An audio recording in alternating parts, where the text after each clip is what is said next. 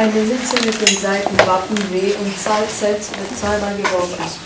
Welche Erge- Ergebnisse sind möglich? Strukturieren Sie die Ergebnismenge mit einem Lücke. Mit einem Baum. Genau das. So, und jetzt die Frage, wie sieht der Baum aus? Ja? Und dann einmal mit zwei Strichen nach hinten auf BZ. Und soll ich weiter? Ja, immer weitermachen. Dann nochmal zwei auf wieder BZ.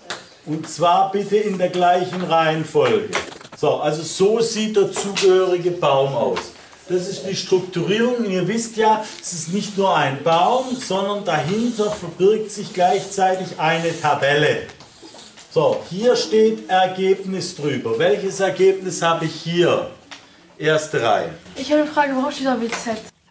Ja, Weil da ja auch WZ steht. Also wegen, äh, ach, naja. letzte Reihe.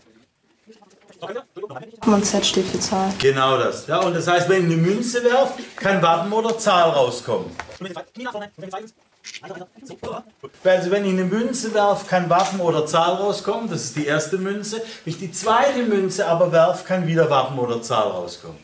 Und so sieht es aus. Und jetzt steht hier ein Ergebnis. Was ist hier das Ergebnis? Dritte Reihe. Genau, WW. Dann hier WZ, ZW und ZZ. Das ist die Ergebnismenge. Also der erste Teil will die Ergebnismenge haben.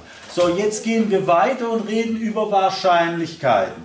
Wenn ich eine Münze hernehme, die einigermaßen ideal ist, welche Wahrscheinlichkeit hat dann der Wappen? Ja? Einhalb. Genau das. So, welche Wahrscheinlichkeit hat dann Zahl? Ja? So, und das pflanzt sich hier im Baum fort. Das schreibe ich jetzt hier überall dran. So, und jetzt würde ich gern wissen, was ist die Wahrscheinlichkeit von WW? Letzte Reihe. Und wie rechnen wir das Viertel? Mit einhalb mal einhalb. Weil das hier die Malrichtung ist. Wissen, das ist die Malrichtung, einhalb, einhalb. Da kommt also einhalb mal einhalb raus und das ist ein Viertel.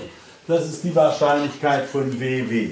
So, und so geht es genau hier gleich. Hier kommt auch ein halb mal ein halb. Also hier kommt die Wahrscheinlichkeit ein Viertel raus. Hier kommt die Wahrscheinlichkeit ein Viertel raus. Und hier kommt die Wahrscheinlichkeit ein Viertel raus. Warum ist denn das überhaupt kein Wunder, dass das so herauskommt? Ja? Äh, warum ist es ein Halb? Diese Wahrscheinlichkeit, ich habe eine Münze, die besteht Wappen und auf der anderen Seite Zahl. Und wie groß ist die Wahrscheinlichkeit, dass ich Wappen werfe?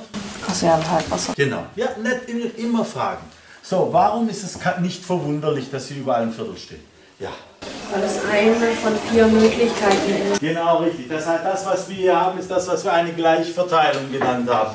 Oder ein Laplace-Experiment.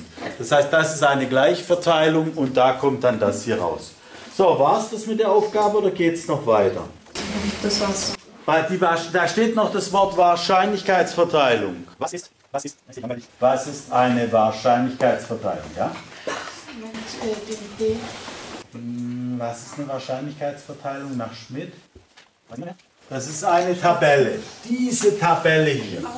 Diese Tabelle ist eine Wahrscheinlichkeitsverteilung. Die Tabellen sind manchmal so und manchmal so senkrecht. Das heißt, die Tabelle ist die Wahrscheinlichkeit. Ist in dem Fall jetzt äh, ein Halb oder ein Viertel? Es kommt darauf an, was. Die Wahrscheinlichkeit, dass ich zum Beispiel zuerst Wappen und dann Zahl habe, das notiere ich so, das ist ein Viertel. Das ist nämlich diese Wahrscheinlichkeit hier. Die Wahrscheinlichkeit, dass ich im ersten Wurf, dass ich im ersten Wurf Wappen habe, das ist der und der.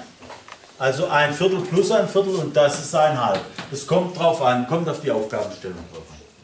Sonst noch eine Frage?